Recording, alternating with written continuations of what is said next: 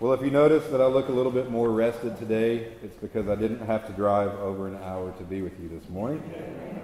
Sherry, the boys, and I are now residents of Smyrna and Rutherford County, and our Sunday morning commute went from a round trip of over 140 miles to eight. So we are so excited.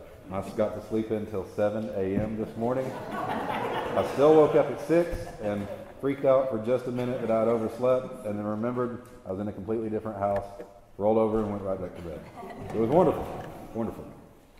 So, anytime you move, it becomes the perfect time for cleansing, doesn't it? It should, at least. I'll admit, Sherry is a lot better at this than I am.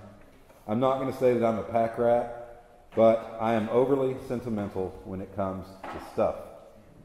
I can easily get attached to little things the rocks that Henry and Silas pick up and give me while we're outside on walks, odds and ends from places we have been, and numerous other things. I can't say this at the 11 o'clock sermon because Silas will be here, but in 2018, Silas was in preschool and they had a little plastic cup and they tie dyed a coffee filter and taped it to the cup, and I would put keys and the rocks that they would give me from walks in there and I threw it away last night, and my heart is broken. But it's a coffee filter that's tie dyed. I think it's time to let it go. So I did. I did. I let it go. I'm still choking up a little bit over it, but it's okay. It's okay. I told you Sherry is better at this than I am.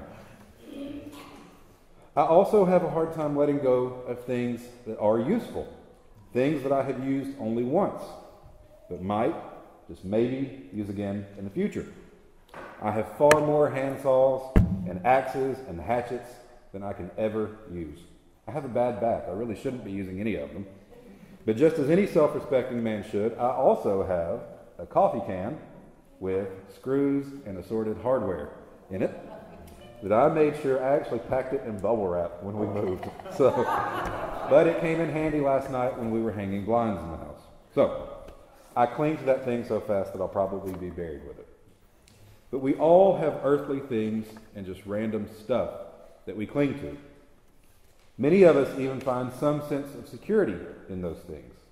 I know I will probably never use the double bit axe that I pulled out of Sherry's dad's shop because it belonged to her grandfather. But I sleep better at night knowing that if I ever choose to take up logging in the Pacific Northwest, I'm set. so even if you don't have stuff that you cling to, perhaps on the flip side, you cling equally as fast to the idea of being a minimalist. Where we find a false sense of control or freedom in having things, some find a false sense of control or freedom by not having clutter. And while that's probably the healthier of the two, it is still a false sense of security. Now, I don't know if you've ever been beside someone who is dying as they're drawing their last breaths. But as a minister, I can say that I count it as a privilege to be with a believer who is standing at the doorway to eternity. As John Piper puts it, I have the hope that someday I may get a glimpse through the door. I think that if I stand guard often enough, I might see something of what Paul saw when he said to depart and be with Christ is far better. I can't help but think that when a soul departs from the life of a saint, that Christ himself draws very near. Now, as Christians, we should find our security not in earthly things, but in salvation and in the faith that we have in Jesus Christ. And we should place our hope and our faith in the assurance of that heavenly salvation. I'll admit that I'm still on the new side of parish ministry, uh, four years in Clarksville and coming up on one here. But the last believer that I was with at the time of his death was a man named Bobby. This is in Clarksville. Bobby had stuff. He had stuff. He had a shop behind his house that was filled with all sorts of things. When I pulled up to his house for the first time, I thought that his entire family had gathered around his deathbed, only to find out that it was him and one other person in the house, and all of those cars were his. Bobby had stuff. As I sat beside him in his living room while he was taking his last breaths, none of that mattered. None of that mattered. He didn't care about any of that. What he cared about was the assurance of his salvation. He wanted communion for the last time. He wanted confession for the last time. And he wanted to make sure that I knew that his family needed to know the hope that was about to become reality for Bobby. Seeing Jesus face to face. And that they had every opportunity to come to faith and to have eternal life as well, because that is what matters most. Bobby wasn't concerned with the cars that were in the driveway. He wasn't concerned with the toys that were in the shop. Now, this morning's epistle lesson from 1 John was fairly wordy, talking about the water and the blood and the spirit and the witness and the truth. Thankfully, I'm skipping over that and we're going to the last part. Now, it can be easy to get turned around in the first half of that reading, but it all becomes abundantly clear when we get to the second half. Verses 11 through 15 say this And this is the testimony that God gave us eternal life, and this life is in his Son. Whoever has the Son has life. Whoever does not have the Son of God does not have life.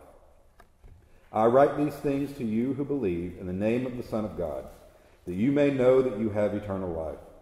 And this is the confidence that we have toward him, that if we ask anything according to his will, he hears us. And if we know that he hears us in whatever we ask, we know that we have the request that we have asked of him. And this is the answer to the fundamental question of our faith. What must I do to have eternal life? And not only do we have this question answered in this passage, but in verse 10, it tells us that this question is answered by the testimony of God himself. Whoever believes in the Son of God has the testimony in himself. Whoever does not believe God has made him a liar, because he has not believed in the testimony that God has borne concerning his Son. So now that we know the importance of having and how to have eternal life, what does it mean when John says to have the Son? I'm going to quote Piper again. So, what does it mean to have the Son of God? The word have can communicate a lot of different nuances. For example, it doesn't mean quite the same thing each time you say, I have a dollar, or I have a cold, or I have an attorney. But there is something common to all these meanings. When you have something, it does its thing for you. If you have a dollar, it buys you a dollar's worth of stuff. If you have a cold, it makes your nose run. If you have an attorney, they stand in for you.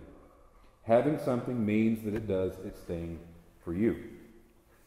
Now, the testimony of God in verse 12 tells us that he who has the Son has life. So, according to our line of thinking from above there, having a Son means the Son does his thing for you. And what is the thing that Jesus did? Let's make a list. You know that I like lists.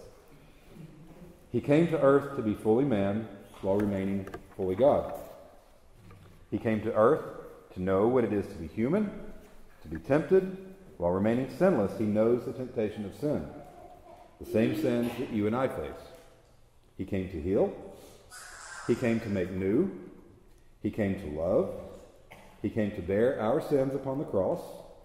He came to conquer sin and death. He rose from the dead. He ascended into heaven, and he will return again. Now, I told you I like lists. We're going to do another one. Let's add some words to that very same list and say it again.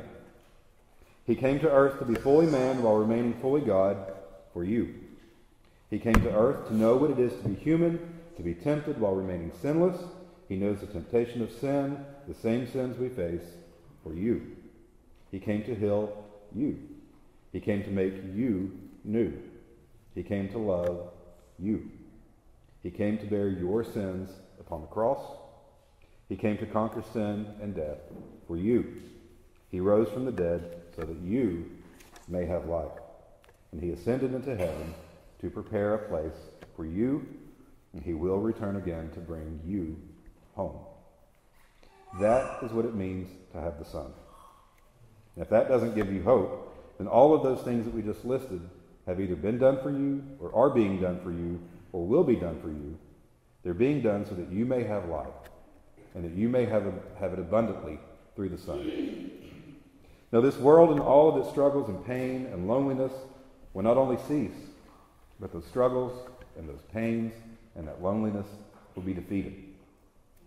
In Christ, you have the assurance that this hope of eternal life is not only for you, but if, if you accept this gift, it can never be taken away. And that is the assurance that we have. This is from Paul Who is it to condemn? Christ Jesus is the one who died. More than that, who was raised, who is at the right hand of God, who indeed is interceding for us. Who shall separate us from the love of Christ? Shall tribulation, or distress, or persecution, or famine, or nakedness, or danger, or sword? As it is written, For your sake we are being killed all the day long. We are regarded as sheep to be slaughtered. But no, in all these things we are more than conquerors through him who loved us. For I am sure that neither life, nor death, nor angels, nor rulers, nor things present, nor things to come, nor powers, nor height, nor depth, nor anything else in all creation will be able to separate us from the love of God in Christ Jesus our Lord. And I really had to fight the urge of my Baptist upbringing to bang this 100 year old pulpit up here, but that's one that makes you want to slam your hand around. There's one question we still haven't answered, though. We know the importance of having eternal life. We know that we have eternal life through the Son. We know how to have it. We know the importance of having it. But how do we live knowing that we have the Son? How do we make that practical? Well, you may be thinking that I've already answered that question by beating around the bush in the first part of the sermon, but I want to be absolutely sure that it is abundantly clear how to have the Son of God. Because verse 12 tells us whoever does not have the Son of God does not have life. But thankfully, the answer to that is just one verse away.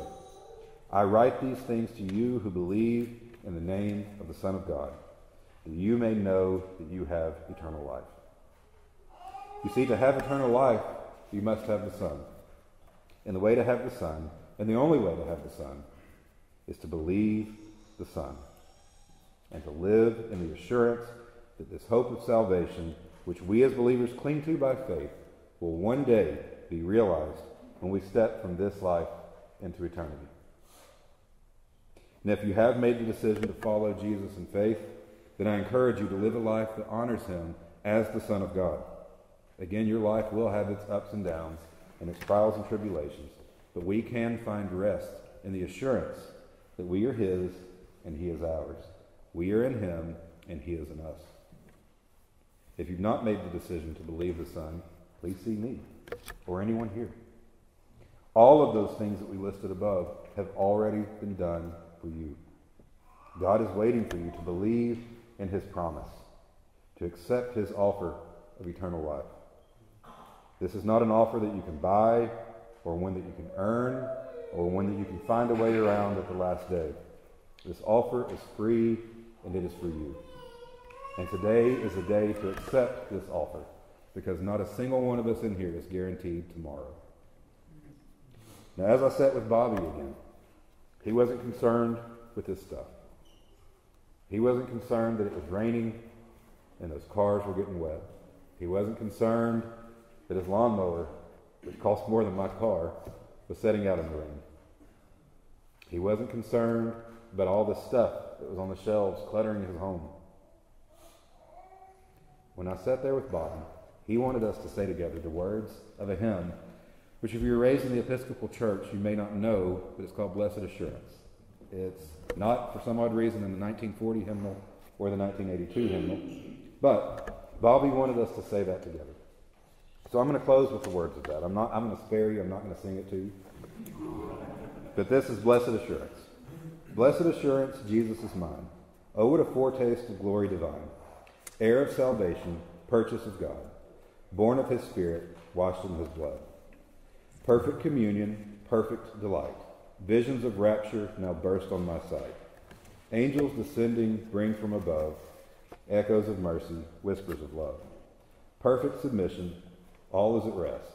I and my Savior am happy and blessed watching and waiting, looking above, filled with his goodness, lost in his love.